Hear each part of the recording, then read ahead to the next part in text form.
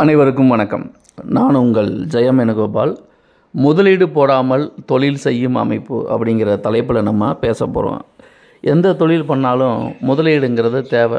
கடைப்பிடிக்கணும் advance கொடுக்கணும் material வாங்கணும் capital சில விஷயங்கள் போடணும் சம்பளத்துக்கு ஆள் வைக்கணும்.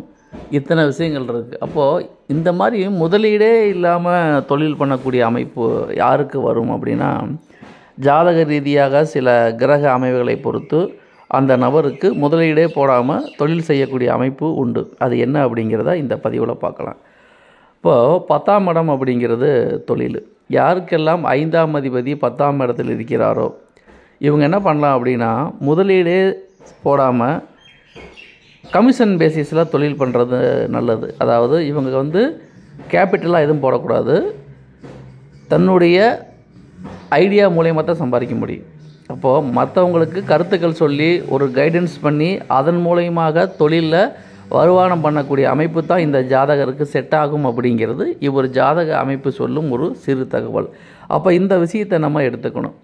ஐந்தாம் அதிபதி பத்தில் இருந்தாலே இவங்க அடுத்தவங்களுக்கு வழிகாட்டி அதன் மூலம் தான் பணம் சம்பாதிக்க முடியும்.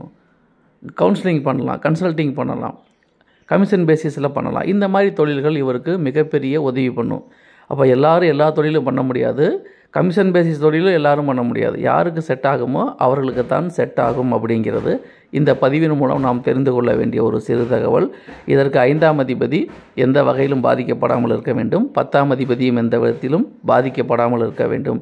லக்னாதிபதியும் வலுவாக இருந்துவிட்டால் நிச்சயமாக இவர் கமிஷன் பேசிஸில் மற்றவங்களுக்கு ஆலோசனை கூறி அதிக அளவில் பணம் சம்பாதிக்கும் அமைப்பு இவருக்குத்தான் உண்டு என்பதை நாம் புரிந்து கொள்ள வேண்டும். இவை பொதுவான தகவல்கள். தனிப்பட்ட ஜாதகத்தை பொறுத்து வேறுபாடு உண்டு. நன்றி. வணக்கம்.